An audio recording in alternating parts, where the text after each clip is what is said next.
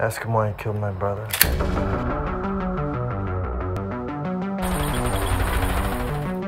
He's a very dangerous